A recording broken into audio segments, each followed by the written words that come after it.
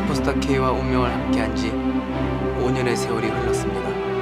우리 모두는 절실하지만 이루지 못하고 있는 사람들의 꿈을 실현시키고 응원할 의무가 있습니다. 이것이 제가 그리고 슈퍼스타 K가 계속되는 이유입니다.